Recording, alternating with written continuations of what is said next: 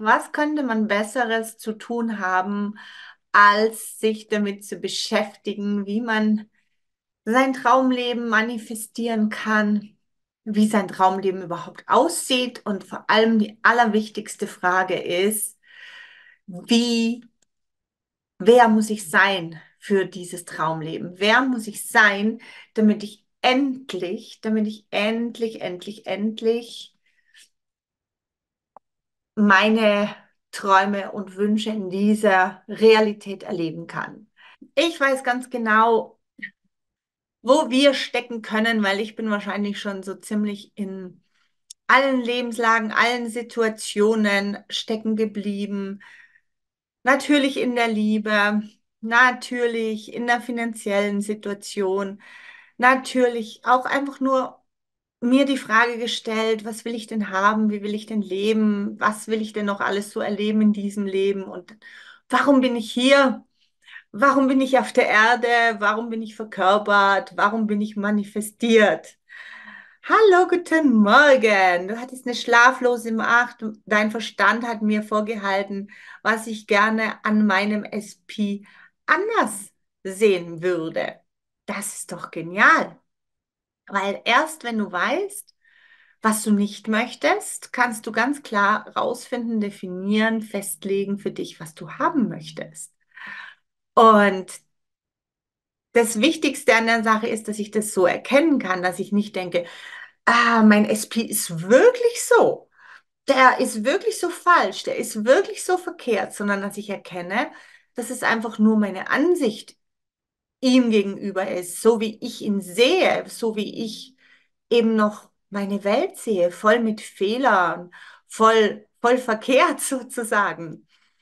Und wenn du dir jetzt vorstellst, dass er, dass er nicht genug aufmerksam ist, dass er sich nicht für dich interessiert oder zu wenig, wenn du dir vorstellst, dass ähm, ja, dass etwas anderes wichtiger ist für ihn als du oder euer gemeinsames Leben oder deine Träume, dann liegt es nur an dir. Dann glaubst du eben, dass du, darum geht es. Was glaubst du, wer du bist, wenn du glaubst, dass dein SP so ist? Also ein Beispiel, wenn du glaubst, dein SP interessiert sich nicht genug für dich, macht dich nicht zur Priorität, dann ist es genau dass du glaubst, dass du nicht wichtig bist, dass du zurückstecken musst. Du glaubst, dass du es nicht verdient hast, Nummer eins zu sein für dich, für dein Leben, dass du dich nicht an erster Stelle sitzt, dass du dich nicht traust, an erster Stelle zu stehen, weil uns ist das natürlich im Leben so eingetrichtert worden. Du bist nicht das Wichtigste, nimm Rücksicht auf andere. Und ja, was passiert dann? Wenn ich das glaube, dass ich nicht das Wichtigste bin, dann verlasse ich meine Schöpferrolle, dann gehe ich aus meiner Kraft raus und ja, mache nicht das, wofür ich hier angetreten bin und geboren worden bin, ein grandioses Leben zu manifestieren und zu erschöpfen, weil ich glaube, ich bin ausgeliefert und weil ich eben der Lüge noch aufsetze, dass hier Beschränkungen sind. Und darum geht es eben bei Divine Design Manifestation, dass ich mein göttliches Design, mein Divine Design anerkenne und somit in meine Kraft komme. Dass ich anerkenne, dass mein Bewusstsein, dass das, was ich glaube, das, was ich denke, das ist, was ich mir vorstelle, wovon ich überzeugt bin, die einzige Wahrheit in meinem Leben und für mich ist. Und dass ich erkenne, dass es wirklich schon immer so war. Dass ich erkenne, dass ich immer das bekommen habe, dass immer das passiert ist, dass immer das geschehen ist, was ich mir vorgestellt habe. Und dass ich erkenne, dass natürlich vom Ursprung meiner Konditionierung, hallo, guten Morgen, Maria, von meiner Konditionierung ich eben so gelehrt wurde, dass ich nicht der Nabel der Welt bin. Obwohl ich gleichzeitig der Nabel der Welt bin weil ich alles, was ich mir vorstelle, wahr mache. Es bewahrheitet sich. Ihr kennt es. Ich habe es gewusst, ich habe es gewusst, dass es so ist. Ja, ich habe heute Nacht von meinem SP geträumt und habe gesehen, wie er ist. Und genau so ist er. Und am nächsten Tag kriege ich den Beweis dafür im Außen. Und wenn ich das erkenne, dass das das Prinzip ist, dass die Dinge, die ich glaube und die ich mir vorstelle, dass mir die bewiesen werden, kann ich doch dieses Prinzip dazu nutzen, dass mir die Dinge bewiesen werden, die ich gerne hätte. Aber dazu muss ich mir erlauben, die Dinge gerne zu haben. Wenn ich möchte, dass mir mein SP Liebe zeigt, Aufmerksamkeit zeigt, zeigt, dass ich die Einzige für ihn bin, dass unser gemeinsames Leben das Einzige ist, was er auch wirklich möchte und nichts anderes, muss ich mir erlauben, diese einzige, diese einzigartige Frau zu sein. Und da fängt das Problem meistens an, weil ich hunderttausend Gründe in meinem Kopf gespeichert habe, in meinem Denken gespeichert habe, in meinen Überzeugungen habe, die mir nicht erlauben zu glauben, dass ich die Einzige bin und die Einzigartige. Und da muss ich so lange wieder zurück zu diesem Manifestationsprinzip, zu dem Divine Design Manifestationsprinzip zurück, bis ich es glauben kann, bis ich erkenne, bis ich wirklich, wirklich erkenne, dass es nichts gibt außerhalb meiner Vorstellung. Nichts gibt, was ich nicht irgendwie wahrnehme, dass es da einfach nichts gibt. Und wenn ich Dinge wahrnehme, die ich nicht sehen kann, die ich nicht anfassen kann, dass diese Dinge genauso wahr sind wie die Dinge, die ich sehen und anfassen kann. Und dass die Wahrheit der Dinge, die ich sehen und anfassen kann, nur daher kommt, was ich über sie glaube. Und jetzt sind wir wieder zurück beim SP. Wenn ich nachts aufwache und meine Vergangenheit Revue passieren lasse, mit meinem SP nehmen wir mal dieses Beispiel her. Wenn ich diese Vergangenheit Revue passieren lasse, was passiert ist, was für Situationen da waren, dann muss mir bewusst sein, dass ich in diesem Moment mich als Frau oder Mensch identifiziere, der diese Vergangenheit hatte. Und logischerweise bin ich dann jemand, der nicht gewollt ist, jemand, der abgelehnt wurde, jemand, der was falsch macht, jemand, der falsch ist und wenn ich das aber ändere und sehe, aber in Wahrheit bin ich doch göttliches Design. Wenn ich die Dinge nicht falsch betrachte, wenn ich sie nicht als falsch einordne, als falsch bewerte, als falsch sehe, sondern wenn ich einfach rigoros erkenne, dass ich dieses göttliche, perfekte, geliebte, gewollte Design bin eines Menschen, dass ich so gemacht bin, dass ich einfach nur hier bin, um zu erkennen, dass ich so wirklich gemacht bin dann spüre ich, dass mein Außen mir das spiegeln darf. Und dass mein Außen, dass mein SP jemand sein darf, der mich so sehen darf. Als göttliches Design.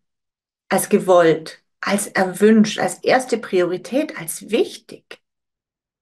Und wer ist er dann, mein SP, wenn er das sieht in mich, in mir? Wer ist er dann? Wer muss er dann sein? Jemand, der begeistert ist von mir. Jemand, der begeistert ist von meinem Sein, von meinem Divine Design, von meinem Leben, von mir, von mir als Mensch. Und das sind diese Konstrukte, diese neuen neuronalen Netzwerke in meinem Kopf, die ich neu machen muss. Auf der Basis meines göttlichen Designs. Auf dieser Ausgangslage darf ich mich neu erfinden. Und wenn ich neu erfunden bin, dann ist meine Welt eben auch neu erfunden. Dann ist meine Welt neu. Und diese neue Welt, die ist nur für meinen Verstand neu, die ist nur für mein Ego neu, für mein Divine Design, für meine Seele, für meine innere Perfektion, für, für die Ansicht, die Perspektive aus dem Göttlichen ist es nicht neu. Diese Perspektive sagt, Wusste ich ja schon lange. Ich warte nur darauf, bis du es weißt, bis du weißt, wer du wirklich bist, bis du dich so siehst, wie du wirklich bist, bis du dich nicht mehr aus der Perspektive des nicht gut genug, des beschränkt siehst. Und deswegen liebe ich eben diese SP-Qual, diesen SP-Schmerz, diesen Liebesschmerz so sehr, weil es der Schmerz ist, den ich mir selber zufüge, weil ich mich als nicht gut genug sehe, weil ich mich im Mangel sehe, weil ich mich falsch sehe, weil ich mich nicht richtig sehe, weil ich immer wieder die Perspektive des Mangels aufsetze. Und diese SP-Geschichte bringt mich einfach dahin, dahin zu schauen und zu sagen, ja, wieso ist es denn so? Wieso fühle ich mich so ungeliebt? Wieso fühle ich mich so abgelehnt? Wieso fühle ich mich so falsch?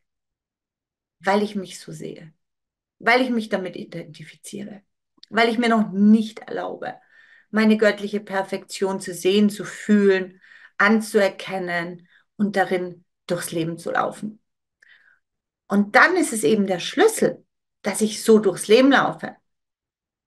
Und zwar alleine und mit meinen SPs, mit meinen speziellen Personen an meiner Seite. Und jede Person, die ich in mein Leben einlade, ist eine spezielle Person. Das macht es ja auch so wichtig und das macht es auch so toll in meinen Business Coachings, wenn die Frauen erkennen, dass der SP nicht der einzige SP ist, sondern dass wenn ich ein Business habe oder dass wenn ich mit Kunden arbeite, dass jeder Kunde für mich auch ein SP ist, eine spezielle Person in dem Moment, wo ich mit dieser Person interagiere oder wo ich auch nur dran denke. Jede Person, an die du denkst, ist ein SP, eine spezielle Person. Und wie du an diese Person denkst, zeigt eben jedes Mal, was du über dich denkst. Und das ist so wichtig, deswegen möchte ich es nochmal wiederholen. Wie du an eine Person denkst oder wie du eine Person siehst, zeigt dir nur, wie du dich selbst noch siehst. Wenn du jemanden siehst, der dich ablehnt, siehst du dich als eine abgelehnte Person, eine abgelehnte Identität. Wenn du jemanden da draußen siehst, der dich kritisiert, kritisierst du dich selber, siehst du dich als jemand, der Kritik braucht, weil er nicht gut genug ist, weil er Fehler macht, siehst du dich selber als fehlerhaft. Und deswegen ist das so golden, ist es so göttlich, wenn ich dieses Prinzip verstehe, dass es nur um mich geht und dass es nur darum geht, wie ich die Welt sehe und ich kann die Welt nur so sehen, wie ich mich selber sehe. Und wenn ich die Welt als beschränkt sehe, als einschränkend, als mir die Freiheit nicht gebend, als mich unterdrückend, dann sehe ich mich eben noch als unterdrückter Mensch, der ich nicht bin. Weil ich bin freie Energie und die Freiheit ist in meinen Gedanken, in meinen Ansichten, in meinen Überzeugungen, in meinem Wissen. Und dieses Divine Design Wissen ist eine ganz uralte Weisheit darüber, wie Energie funktioniert. Nur diese Funktionsweise muss ich erstmal lernen, begreifen und verstehen, damit ich sie anwenden kann. Und dann wende ich sie absolut bedingungslos an. Und das ist auch das, was wir in meiner höchsten Mastermind absolut machen, wo wir uns nichts mehr vorgaukeln lassen, keine Ausreden, keine Macht mehr ins Außen geben, wirklich uns so klar positionieren, dass wir wissen, wir sind die Kraft, wir sind die Quelle und wir sind das Absolut. Und absolut heißt einfach nicht, ich bin es heute und morgen nicht, ich bin es für meinen SP äh, und für meine Kunden nicht. Nein, dieses Prinzip ist absolut und es wirkt absolut und deswegen darf ich es absolut anwenden. Und deswegen gilt es eben auch für alle Lebensbereiche, aber ich darf es lernen, ich darf es üben im Lebensbereich SP, weil da habe ich meinen direkten Spiegel. Da kann ich nicht ausweichen. Und da weiß ich, wie ich mich fühle. Und wenn ich mich nicht angenommen und gewollt fühle, wenn ich mich wertlos fühle, wenn ich mich äh, weniger Priorität fühle, weniger wichtig fühle, dann weiß ich, dass ich als diese Identität, als weniger durch die Welt gehe. Und unser Verstand, der macht so viele Sperenzchen so gerne, um uns zu zeigen, dass wir weniger sind dass es andere gibt, die wichtiger sind, die mehr sind. Dann erzählt er uns, die verdienen mehr Geld, die haben mehr Freiheit, schau mal die anderen an und wir bringt uns, dieser Verstand bringt uns dann in diesen Vergleich, wo wir schlechter abschneiden. Aber das ist dieses heimtückige Spiel des Egos, weil es uns immer wieder sagen muss, beschränkt, du bist beschränkt, du bist nicht gut genug, da stimmt irgendwas nicht, du musst besser werden. Und dann denkt es sich Geschichten aus, die das beweisen sollen.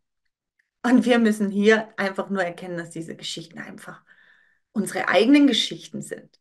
Unsere eigenen Geschichten, unsere Ego-Geschichten, die immer wieder darauf aus sind, den Rückschluss zu machen. Und schau, andere sind besser, du bist nicht gut genug.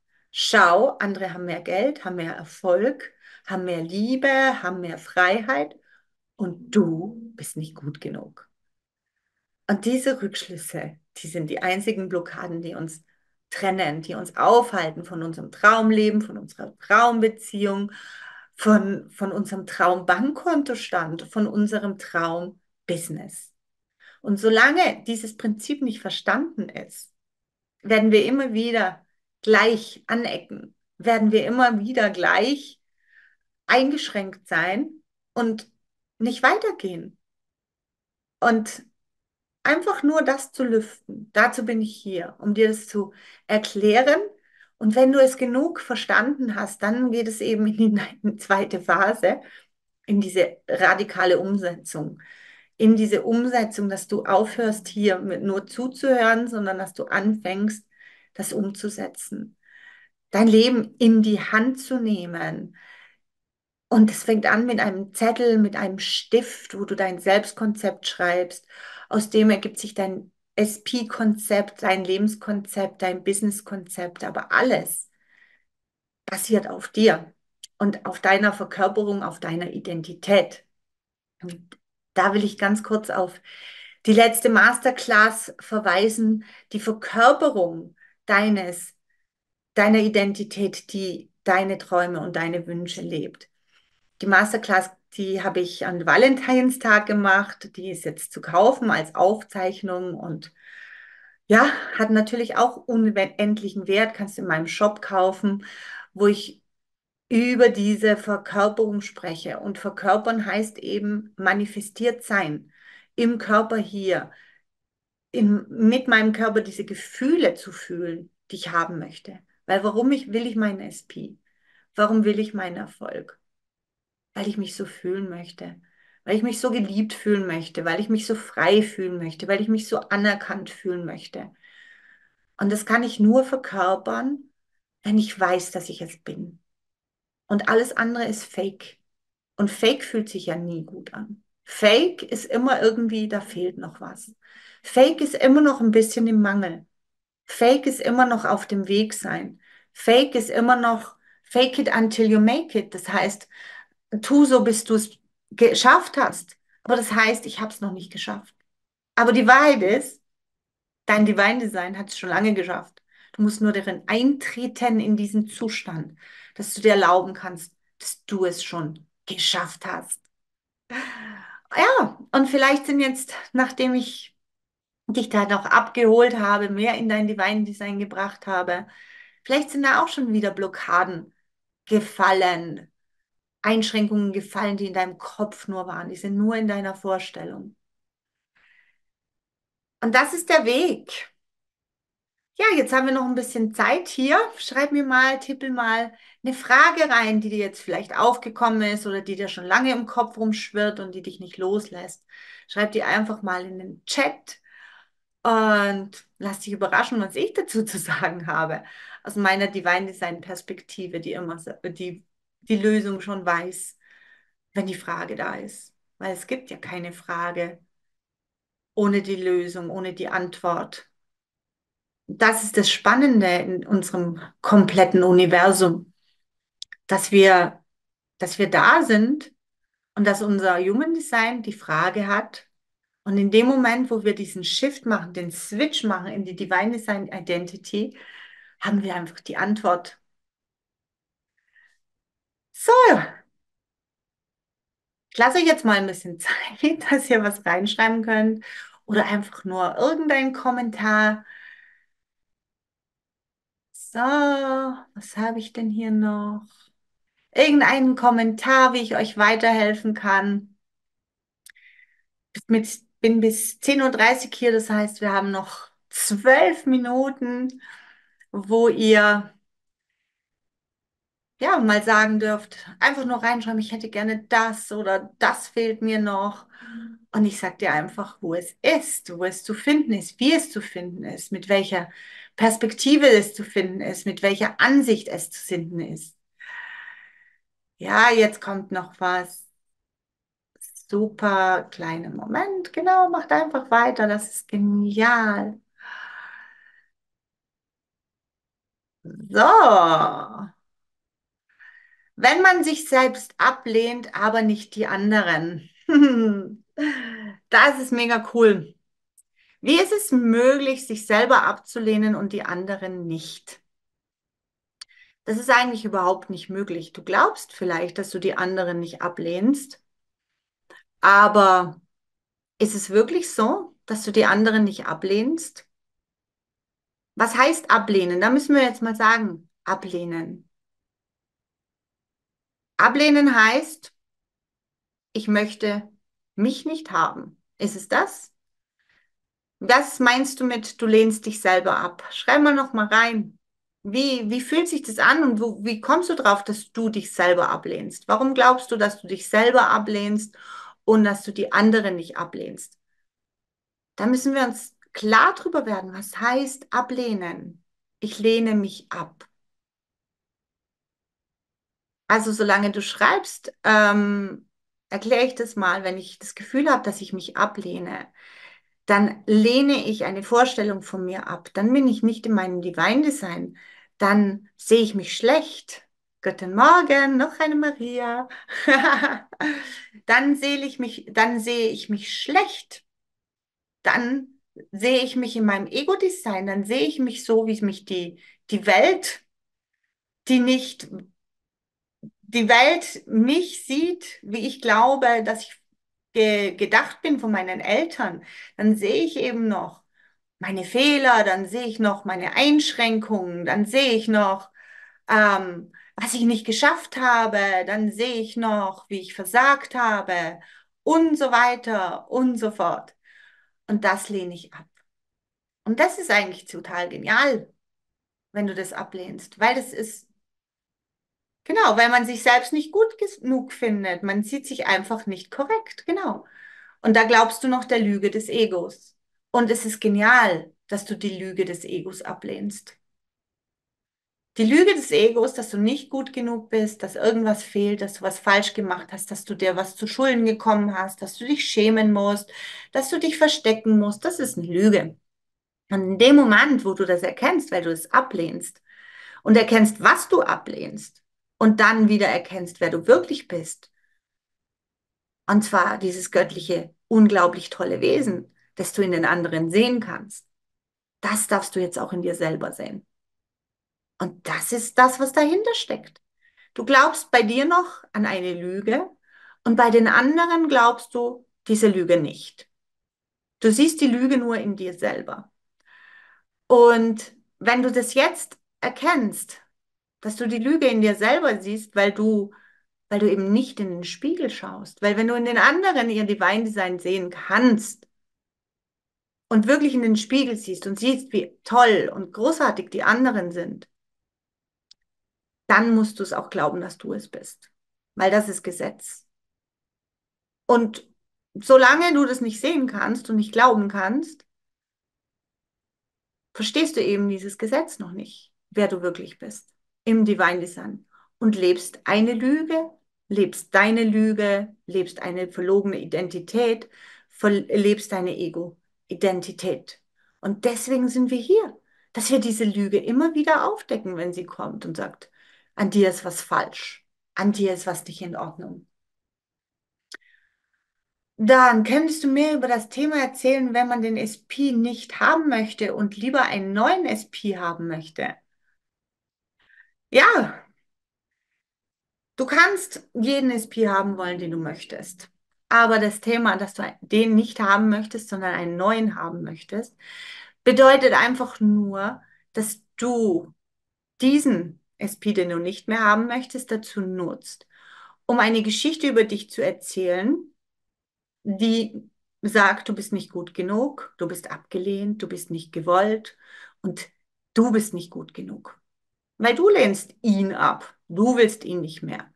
Es ist aber nur eine Geschichte, die du um eine Person webst. Und jetzt denkst du, wenn ich jetzt eine neue Person wäh wäh wähle, kann ich eine neue Geschichte weben. Das kannst du tun. Aber sie wird sich nachher der alten Geschichte wieder anpassen, wenn du dich nicht selber anders siehst. Und in dem Moment, wo du dich selber anders siehst, als die gewollte, als die erwünschte, als die auserwählte, übrigens habe ich diesbezüglich eine ganz, ganz tolle Masterclass mit Workbook. Das heißt, ich bin die Auserwählte. Das ist der absolute Kern dieser Arbeit, dass du dich als diese Auserwählte selbst erkennst. Dann kannst du dich nämlich auch im, in der Beziehung zu jedem anderen Menschen als die Auserwählte sehen. Und darum geht's. Und dann ist es wiederum egal, welcher SP dir dient, um die Auserwählte zu sein. Und wenn es dir bei einem leichter fällt, dann nimm diesen, wo es dir leichter fällt. Aber wenn du die Arbeit in dir selber nicht machst und nicht diese Auserwählte wirst, wird sich bei jedem SP die gleiche Geschichte wiederholen. Und ich glaube, das haben wir alle schon erlebt. Also egal welcher Mann, welcher SP es ist, dass wir nachher die gleiche Geschichte wieder haben. Bei mir ist es genau umgekehrt. Mein SP will mich nicht mehr und anscheinend lieber eine neue. Mhm. Was haben wir hier noch? Dein Außen vom SP ist das, was ich nicht akzeptiere. Sein Sein ist einfach traumhaft. Also damit denke ich mal, wie er aussieht, oder? Sein, sein, sein, seine Erscheinung, sein Gesicht. Aber auch das hier wieder, da kannst du dich auch wieder, dein Ego wieder erwischen, wenn du sagst, ja, das Äußere von, von meinem SP gefällt mir nicht. Das sind auch wieder Geschichten. Was gefällt dir? Was findest du schön und warum findest du das, was du jetzt gerade im Außen siehst, nicht schön? Und da kommst du wieder zu dir selber, wenn du rausfindest, warum finde ich es nicht schön? Was habe ich da für eine Geschichte dran geklebt? Wer, wie muss jemand aussehen, damit er schön ist? All diese Bedingungen, das ist einer der größten Teile dieser Arbeit, dass ich erkenne, dass ich Bedingungen reintue, die mir wieder sagen, nein, ich muss es ablehnen, es gefällt mir nicht. Mein SP und ich treffen uns regelmäßig, aber es ist noch unklar. Er gibt mir zu verstehen, dass er keine Ahnung hat, wie es weitergeht und ich versuche zu verstehen, was da blockiert. Ganz einfach, dass du keine Ahnung hast, wie es weitergeht. Hier blockiert, dass du Angst hast vor der Zukunft. Hier blockiert, dass du nicht vertrauen kannst, dass du ihm nicht vertrauen kannst, dass du eurer gemeinsamen Zukunft nicht vertrauen kannst. Das blockiert. Aber dieses Vertrauen musst du in dir selber finden. Das ist Selbstvertrauen. Und ohne Selbstvertrauen kann ich niemals anderen Menschen vertrauen. Und wenn ich eben diese Angst habe, dann ist es mir noch unklar, wie es weitergehen muss, weil ich suche Sicherheit im Außen, die ich im Innen nicht habe. Aber wenn ich weiß, dass ich Liebe bin, dass ich verliebt bin, dann, wenn ich weiß, dass mein SP und ich zusammengehen, dann weiß ich das, dann ist es für mich klar und dann ist es für ihn eben auch super toll klar. Mein SP hat sich gestern nach langer Zeit gemeldet, habe wunderschöne Komplimente bekommen und dann auch nichts mehr. Und jetzt frage ich mich, ja gut, und was jetzt? Bräuchte mehr Initiative von ihm. Aber das ist genau das, was, was immer wieder nicht funktioniert. Du kriegst das vom Außen, was du innen selbst über dich glaubst. Jetzt ist es so gewesen, offensichtlich hast du dich gut gefühlt, hast du dich gut genug gefühlt, hast dich wichtig gefühlt, hast dich geliebt gefühlt und schon kommt er von außen Komplimente. Und dann macht dein Ego und sagt, aber wenn jetzt keine Komplimente mehr kommen, dann bin ich ja nicht mehr gut. Ja, dann ist irgendwas falsch an mir. Er muss ja mich überzeugen von außen. Aber das ist genau das. Er wird dich niemals überzeugen wenn du nicht von dir selber überzeugt bist. Und wenn du von dir selber überzeugt bist, von deiner eigenen Identität, dann wird er dir das spiegeln. Und andersrum wird es nie funktionieren. Und du wirst immer wieder in diese Leere laufen, wenn du glaubst, dass du vom Außen etwas brauchst. Nein, du bist erfüllt von innen heraus. Und das ist das, worum es geht. Zudem habe ich eine Unzufriedenheit mit meiner aktuellen Wohnsituation. Ich würde gerne einfach wieder heim zu ihm. Ja, genau. Aber solange du glaubst, du bist nicht zu Hause bei ihm, dann wirst du nicht zu Hause sein. Dann bist du die, die getrennt ist von ihm. Aber in Wahrheit, in Energie kannst du dich nie trennen, weil so, das ist das Gesetz der Reflexion. Du bist nicht getrennt, aber du machst diese Trennung, indem du glaubst, du bist getrennt von ihm. Aber wenn du in dir, in deinem Gefühl, in deiner inneren Welt erkennst, dass du nicht getrennt bist und dass er niemals von dir getrennt sein kann, dann wirst du die Wohnsituation, dann wirst du deinem Ego nicht mehr erlauben, die Wohnsituation als Grund dafür herzunehmen, dass du die Lüge der Trennung glaubst. Jetzt gehe ich dann nochmal hoch. Da war noch was. Meine Vorstellung ist noch sehr ablenkbar. Wie schaffe ich es, bei mir zu bleiben? Ich sehe keine intensiven Bilder. Die Vorstellung ist sehr im Nebel und bruchhaft. Genau, das habe ich auch schon oft gesagt. Eine Vorstellung ist nicht da draußen. Eine Vorstellung ist nicht eine Kinovorstellung, sondern eine Vorstellung, die ergibt sich automatisch aus dem Selbstkonzept. Deswegen arbeite niemals an einer äußeren Vorstellung, sondern arbeite immer nur daran, wer du bist und wie sich das für dich anfühlt, wenn du diese Person bist. Ich bin geliebt, ich bin gewollt, ich bin unterstützt, ich bin Fülle, ich bin Erfüllung. Und plötzlich kommt dir eine Vorstellung, vielleicht ein Bild, vielleicht eine Idee. Ähm, eine Vorstellung ist etwas ganz, ganz Vielfältiges. Eine Vorstellung ist eine Energie, die sich als Bild zeigt, die sich als Gefühl zeigt, die sich als Gedanke zeigt. Das ist eine Vorstellung. Also suche nicht nach Bildern, sondern suche nach dir, suche nach deiner Identität. Nehme einen Wunsch her, du sagst, das wünsche ich mir, wer muss ich sein? So rum funktioniert's und nicht anders. Wie bekommt man mehr Selbstwertgefühl? Indem ich weiß, wer ich wirklich bin, indem ich das glaube, indem ich das verankere, indem ich mich so sehe, indem ich mich von anderen so sehen lasse. Selbstwertgefühl ist, dass ich meinen eigenen Wert kenne, der ergibt sich aus dem Divine Design. Ich weiß, wer ich bin als göttliche Perfektion und erlaube mir, mich so zu fühlen. Ja, ihr Lieben, auf den Punkt eine Punktlandung.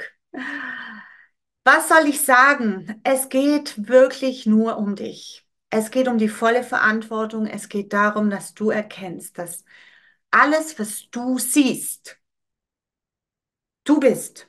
Aber nicht du als Körper, sondern du mit deinen Ansichten, du mit deinen Überzeugungen, du mit deinen Interpretationen, du mit deinen Rückschlüssen, du mit deinen Bedingungen, du aus einer Ego-Welt heraus, die glaubt, es braucht Gründe, Bedingungen.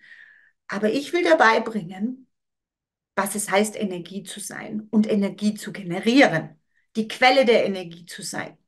Und die nun mal hat keine Bedingung. Du darfst festlegen, wer du bist. Du darfst festlegen, wie du denken willst. Du darfst festlegen, was du glaubst. Und du musst nichts glauben, was einschränkt. Du musst nichts glauben, was bedingt. Du musst nichts glauben, was die Welt so glaubt, sondern du darfst einfach nur glauben, du erschaffst durch deine Vorstellung. Und deine Vorstellung ist eben Glauben, Denken, Fühlen, Wissen, Rückschlüsse ziehen, Zusammenhänge machen. Das alles gibt eine Vorstellung. Das alles gibt das Drehbuch deines Lebens. Und du bist der Autor des Drehbuchs deines Lebens. Aber du musst dich in diesen Sitz, in diese Position dieses Drehbuchautors, dieses Schöpfers, dieser Quelle, dieser absoluten Quelle erheben. Und dazu braucht dein Ego ein klares Konzept. Und dieses Konzept nenne ich Selbstkonzept, dieses Konzept nenne ich Divine Design Selbstkonzept. Und da darfst du reinwachsen. Das nenne ich Verkörperung. Und wie sich das aufbaut, hol dir das erste, äh, das erste Masterclass Identity Training, Divine Design Identity aus der Trilogie zum Wohlfühlwohlstand. Hol dir die zweite Masterclass, die ist jetzt dran. Verkörperung, die kannst du dir jetzt holen. Die dritte Masterclass kommt am 14. oder 16. März. Und all das ist gratis, wenn du in die Community kommst. Wir sind Divine Design. Wenn du dir eine dreimonatige Mitgliedschaft einfach kaufst, hast du diese Masterclass gratis im März. Dann hast du gratis Hot Seat Coaching. Dann kannst du mir Fragen stellen. Dann kannst du trainieren, deine IM Identity. Dann hast du mal dieses ganze Basic Package, das Foundation Package, wo du eine Heimat findest für deine Divine Design Personality, wo du die verankern darfst wo du einfach lernst, dass das Ego-Leben, das beschränkte Leben einfach auch nur eine Vorstellung ist, aus der du austreten darfst. Und zwar absolut und rigoros. Du musst nicht beschränkt bleiben. Du musst nicht fehlerhaft bleiben. Du musst keine Sühne haben. Du musst keine Sünde haben. Du musst einfach nur aussteigen aus diesem Ego-Beschränkungsschmerzdesign, Unterdrückungsdesign, aus all diesen, ein Design ist etwas, was du zusammengebastelt hast für dich selber. Und du glaubst, es ist deine individuelle Idee. Aber es ist eine Idee, die basiert auf Beschränkungen und auf Einschränkungen. Und wenn du in dein Divine Design gehst, erkennst du, dass es diese Beschränkungen und Einschränkungen gar nicht geben muss und dass du klar erfüllt sein darfst. Erfüllt mit dir, weil das bist du eh. Du bist immer nur erfüllt mit dir. Du bist erfüllt mit deiner Meinung, mit deiner Vorstellung, mit deiner Ansicht, mit deiner Interpretation, mit deiner Bedeutung, mit deinen Rückschlüssen. Du bist erfüllt mit dir und so ist dein Leben erfüllt, komplett mit dir. Und wenn du deine Identity änderst, ist dein Leben erfüllt mit dir in deinem Divine Design, mit deiner Fülle, mit deiner Erfüllung, mit deiner Liebe, mit deiner Begeisterung, mit all dem, was du in Wahrheit bist, wenn du diesen Mantel der Beschränkungen, der ich bin, dass ich bin nicht gut genug, ich habe einen Fehler gemacht, ich muss Fehler ausmerzen, ich muss besser werden, einfach krass absprengst und sagst, das ist ein scheiß Mantel, der mir noch nie gehört hat, den ich mir angezogen habe, ähm, unbewusst, als ich als Baby eingekleidet wurde, als man mir die Nacktheit, die, die Klarheit, die, die Wahrheit quasi genommen hat, weil das das Spiel des Lebens ist. Dass ich diesen Mantel angezo angezogen bekomme und dass ich das schnalle, aufwache, erwachsen werde, also erwachsen werde und erkannt habe, dass ich hier ein Spiel gespielt habe um zu erkennen, dass diese Einschränkung nicht notwendig ist und dass ich frei, gut genug, ohne Schuld, ohne Sühne, ohne Sünde hier mein Leben manifestieren kann. Und es fühlt sich an nach Erfüllung. Es fühlt sich nach Fülle an, weil das ist das, was ich bin, wenn ich diesen scheiß Mantel ablege, wenn ich authentisch bin, wenn ich meine Divine Design Nacktheit zeige ohne mir irgendwelche Geschichten zu erzählen, dass irgendwas an mir nicht gut genug ist. Und das ist das Spiel des Lebens. Darum geht's. Und wenn du das verstanden hast, kannst du eintreten in diese Umsetzung und dir absolut jeden Traum manifestieren. Mit jedem Menschen, wo du möchtest, mit jedem Geld, das du möchtest, mit jedem Körper, das du möchtest, mit jedem Aussehen, das du möchtest, völlig, völlig frei. Und das ist natürlich abgefahren und da muss man immer wieder dran arbeiten. Und ich habe mir meine Traumbeziehung mit meinem Traum-SP manifestiert und da muss ich dabei bleiben. Und ich könnte mir hunderttausend Geschichten erzählen, warum das nicht gut ist, warum er nicht gut ist, warum er nicht richtig ist. Und eine der optimal, optimalen Hammergeschichten wäre natürlich ein Altersunterschied von 20 Jahren zwischen mir und ihm.